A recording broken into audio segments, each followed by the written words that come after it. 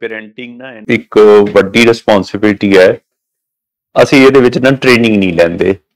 And ਕਿਤੇ ਨਾ ਕਿਤੇ ਜਦੋਂ ਬੱਚੇ ਵੱਡੇ ਹੁੰਦੇ ਆ ਨਾ, ਇਹ ਤੇ ਇੱਕ ਨੈਚੁਰਲ ਸਿਬਲਿੰਗ ਰਿਵੈਲਰੀ ਵੀ ਹੁੰਦੀ ਹੈ। ਪਰ ਆਮ ਤੌਰ ਤੇ ਉਹ ਸਿਬਲਿੰਗ ਰਿਵੈਲਰੀ ਦੇ ਵਿੱਚ ਜਿਹੜੇ ਪੇਰੈਂਟਸ ਹੈ, ਖਾਸ ਕਰਕੇ ਮਦਰ ਹੈ, ਉਹ ਵਨ ਸਾਈਡਡ ਕਿਤੇ ਨਾ ਕਿਤੇ ਹੋ ਜਾਂਦੇ ਆ। ਕਦੀ ਕਿਸੇ ਦੀ ਸਾਈਡ ਕਦੀ ਕਿਸੇ ਦੀ ਸਾਈਡ ਲੈਣੀ। ਉਹਨਾਂ ਨੂੰ ਇਹ ਲੱਗਦਾ ਹੈ ਕਿ ਵੀ ਇਸ ਵੇਲੇ ਇਹਦੀ ਸਾਈਡ ਲੈਣੀ ਹੈ, ਇਹ ਡਿਪਰਾਈਵਡ ਆਫ ਹੈ। ਇਸ ਵੇਲੇ ਇਹ ਵਧੀਕੀ ਕਰ ਰਿਹਾ ਇਹਨੂੰ ਸਜ਼ਾ ਦੇਣੀ।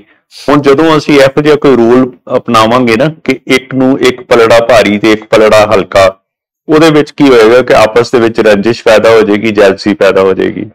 ਜਿਸ ਕਰਕੇ ਕੀ ਹੁੰਦਾ ਕਿ ਫਿਰ ਆਪਸ ਦੇ ਵਿੱਚ ਜਿਹੜੀ ਸਿਬਲਿੰਗ ਰਿਵੈਲਰੀ ਹੈ ਨਾ, ਉਹ ਪੈਥੋਲੋਜੀਕਲ ਹੋ ਜਾਂਦੀ ਹੈ। ਆਮ ਤੌਰ ਤੇ ਸਿਬਲਿੰਗ ਰਿਵੈਲਰੀ ਹੁੰਦੀ ਹੈ ਕਿ ਜੋ ਜੋ ਅਸੀਂ ਗਰੋ ਕਰਦੇ ਹਾਂ ਨਾ, ਇਹ ਖਤਮ ਹੁੰਦੀ ਜਾਂਦੀ ਹੈ। ਇੰਨੀ ਜ਼ਿਆਦਾ ਨਹੀਂ ਕੋਈ ਰਹਿ ਜਾਂਦੀ। ਬਟ ਕਿਉਂਕਿ ਪੇਰੈਂਟਸ ਉਹਦੇ ਵਿੱਚ ਇੰਟਰਫੇਅਰ ਕਰਦੇ ਆ ਐਂਡ ਕਦੀ ਕਿਸੇ ਨੂੰ ਸਜ਼ਾ ਦੇਣੀ ਤੇ ਕਿਸੇ ਦੀ ਸਾਈਡ ਲੈਣੀ, ਉਹਦੇ ਕਰਕੇ ਜਿਹੜਾ ਕਨਫਲਿਕਟ ਹੈ ਨਾ ਵੱਧਦਾ ਜਾਂਦਾ ਫਿਰ ਪੇਰੈਂਟਸ ਇਸ ਚੀਜ਼ ਦੀ ਬੜੀ ਕ੍ਰੈਡਿਟ ਲੈਂਦੇ ਆ ਕਿ ਸਾਡੇ ਕਰਕੇ ਇਹ ਆਪਸ ਦੇ ਵਿੱਚ ਚੰਗੇ ਰਿਲੇਸ਼ਨਸ਼ਿਪ ਮੇਨਟੇਨ ਕਰ ਰਹੇ ਆ ਅਸੀਂ ਰਿਸਪੌਂਸਿਬਲ ਆ ਇਹਨਾਂ ਨੂੰ ਇਕੱਠੇ ਰੱਖਣ ਦੇ ਵਿੱਚ।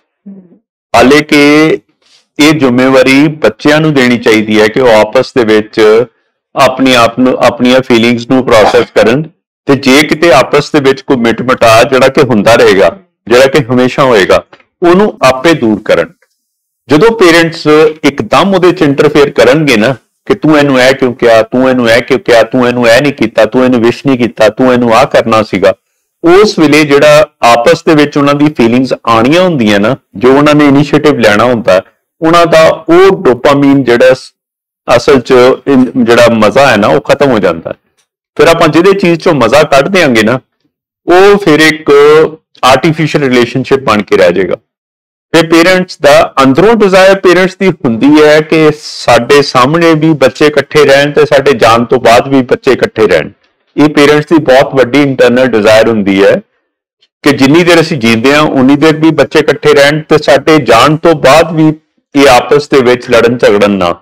ਪਰ ਉਹ ਜਿੰਨੀ ਕੰਟਰੋਲਿੰਗ ਕਰਦੇ ਆ ਨਾ ਉਨਾ ਹੀ ਇਹ ਜਿਹੜਾ ਰਿਲੇਸ਼ਨਸ਼ਿਪ ਹੈ ਸਪੋਇਲ ਹੁੰਦਾ। ਹਾਲੇ ਕਿ ਜੇ ਇਸ ਰਿਲੇਸ਼ਨਸ਼ਿਪ ਨੂੰ ਬਿਊਟੀਫਾਈ ਕਰਨਾ ਹੈ ਨਾ, ਤੇ ਦੋਨਾਂ ਪੱਖਾਂ ਨੂੰ ਆਪਣੇ ਆਪ ਨਾਲ ਪ੍ਰੋਸੈਸ ਕਰਨ ਦੇਣੀਆਂ ਚਾਹੀਦੀਆਂ ਫੀਲਿੰਗਸ ਕਿ ਉਹ ਆਪਣੀਆਂ ਬੈਠ ਕੇ ਨਜਿੱਠ ਲੈਣ। ਐਂਡ ਉਹਦੇ ਵਿੱਚ ਆਪਣਾ ਯੋਗਦਾਨ ਨਹੀਂ ਪਾਣਾ ਚਾਹੀਦਾ। ਇਹ ਬਹੁਤ ਇੰਪੋਰਟੈਂਟ ਚੀਜ਼ ਹੈ। ਜਿਵੇਂ ਅਸੀਂ ਹੁੰਦਾ ਨਾ ਕਿ ਕੋਈ ਚੀਜ਼ ਵੀ ਹੁੰਦੀ ਹੈ ਤੇ ਅਸੀਂ ਉਹਦੇ ਚ ਫਟਾਫਟ ਜੰਪ ਇਨ ਕਰਦੇ ਹਾਂ। ਹਾਂ ਬਈ, ਕੀ ਕਿਹਾ? ਤੈਨੂੰ ਕੀ ਕਿਹਾ? ਉਹਨੇ ਕੀ ਕਿਹਾ ਤੈਨੂੰ? ਅੱਛਾ, ਉਹਨੇ ਤੈਨੂੰ ਅੱਜ ਬੁਲਾਇਆ ਨਹੀਂ ਉਹ ਤੇਰੇ ਨਾਲ ਗੁੱਸੇ ਹੋਇਆ? ਲੈ ਮੈਂ ਮਨਾ ਓਏ, ਬੋਲ ਇਹਦੇ ਨਾਲ ਆ ਕੇ। Don't do it don't do it let them sort it out ਉਹਨਾਂ ਨੂੰ ਸੌਰਟ ਆਊਟ ਕਰ ਲੈਣ ਦਿਓ। ਐਂਡ ਇਹ ਜਿਹੜਾ ਪੇਰੈਂਟਸ ਦਾ ਇੱਕ ਬਹੁਤ ਹੀ ਵੱਡਾ ਭੁਲੇਖਾ ਹੈ ਕਿ ਸਾਡੇ ਕਰਕੇ ਇਹ ਸਾਰੇ ਇਕੱਠੇ ਆ।